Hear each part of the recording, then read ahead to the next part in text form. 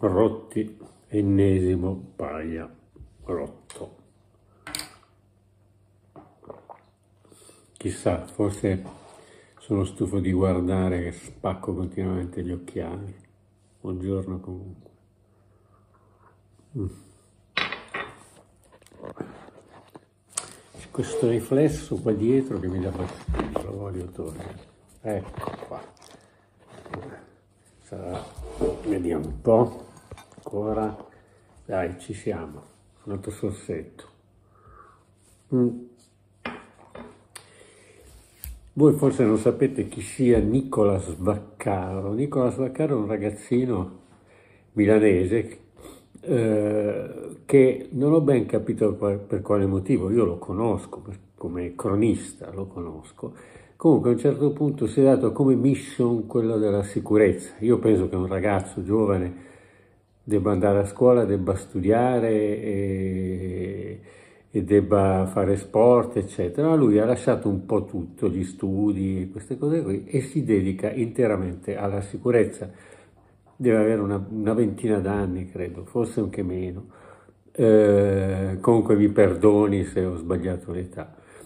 È tra, è tra, gli animatori e tra i creatori, diciamo, di un, di un sito, di una pagina social eh, molto in voga a Milano, che si chiama Milano Bella da Dio, e poi da, lui ne ha creata un'altra che si chiama, mi sembra, Comitato Cittadini per la Sicurezza, lui è giovane presidente, vanno in giro a eh, occuparsi di sicurezza, nel senso a segnalare le anomalie.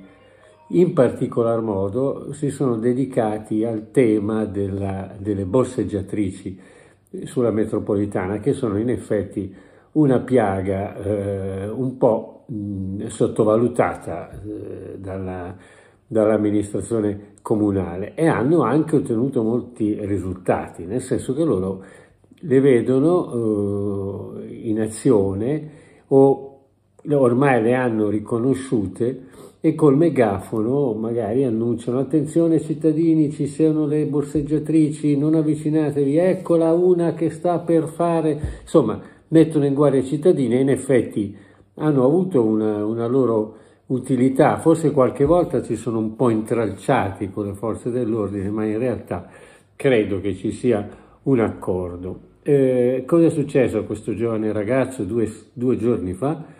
È stato circondato da otto borseggiatrici in una fermata sotto nella, nella tube e minacciato pesantemente da otto borseggiatrici, quindi vuol dire che in un solo punto c'erano otto borseggiatrici pronte a sfilare eh, il portafoglio, il telefonino, quello che era, dalla borsa, dallo zainetto di gente che andava a eh, lavorare o tornava dal lavoro o andava a, a, studiare, quindi non certo a ricconi. E insieme a, a, a queste otto borseggiatrici c'era persino un eh, sedicente eh, operatore di polizia privata, in realtà eh, non era vero, ma c'era anche questo qui eh, insomma è stato minacciato pesantemente, non so se si è preso qualche pizza, eh, l'ho sentito, mi, mi, mi, mi ha, eh, mi ha scritto, era anche un po' spaventato, ho fatto in modo che questa storia uscisse su qualche giornale e, e, mi, e mi pongo una serie di, di, domande da cronista e da cittadino perché dobbiamo continuare a metterci il prosciutto davanti agli occhi.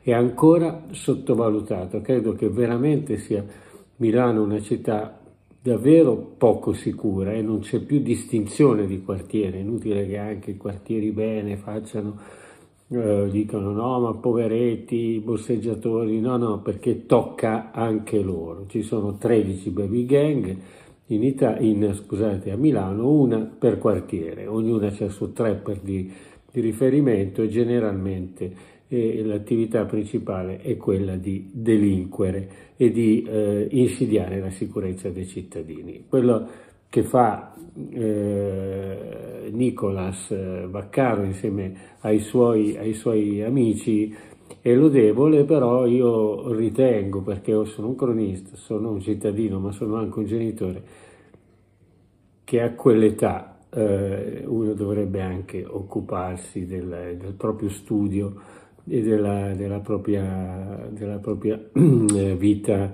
diciamo, di, di, di, di giovane praticamente adolescente. E che a volte un pochino ci facciamo prendere la mano dall'ego, a quell'età poi è facile e ci si può poi trovare in brutte situazioni. Questo non toglie niente, ha il suo merito e, e toglie molto a questa, all'amministrazione della nostra città che continua pesantemente a sottovalutare il tema della sicurezza.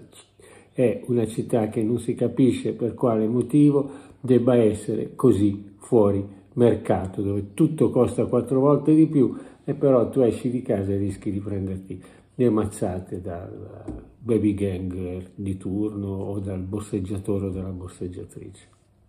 Buona giornata.